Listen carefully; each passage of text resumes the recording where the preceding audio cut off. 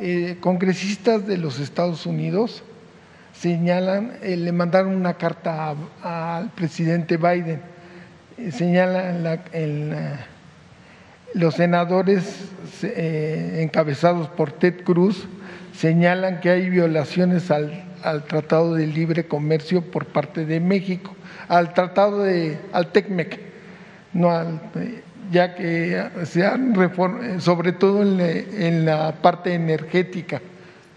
Se van a ir este, dando a conocer nuestras eh, acciones. Ya eh, se está haciendo una labor de parte de nuestro embajador Esteban Moctezuma para informar. Muchas veces eh, este, es lo mismo, ¿no? Es este desinformación.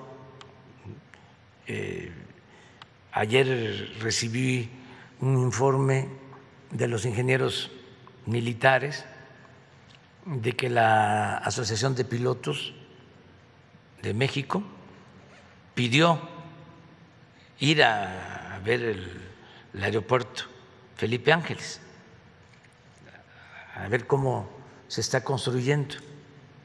Y este, quedaron pues muy satisfechos, que incluso volaron,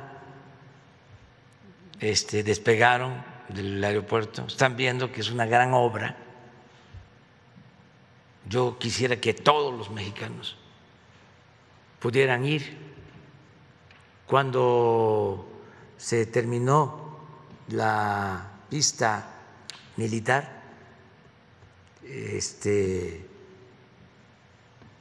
llegaron aviones, eh, hicimos una mm, evaluación y al día siguiente casi todos los medios, en vez de dar a conocer la información, como fue, hablaron de que eh, era un montaje, un poco lo que esta revista inglesa, porque tampoco hay mucha diferencia. ¿eh? Entre los periódicos de aquí con el New York Times, el Washington Post y estas revistas inglesas, eh, hay una crisis eh, del periodismo en el mundo por falta de ética.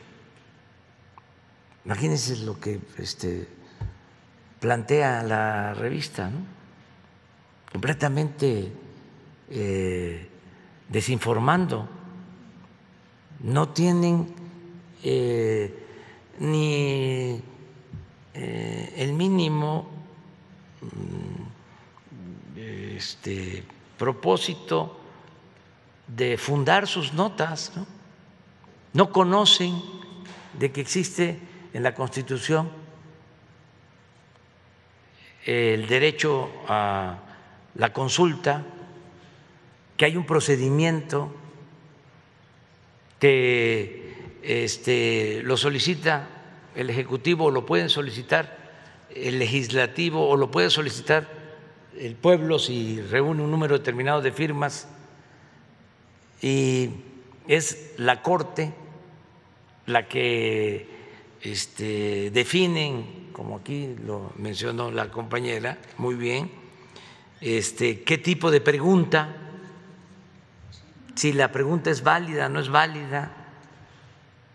Entonces nos atribuyen a nosotros la pregunta cuando fue la Corte la que formuló la pregunta. Pues estamos hablando de una revista supuestamente muy famosa, importante en el mundo, pues es un pasquín también, al final.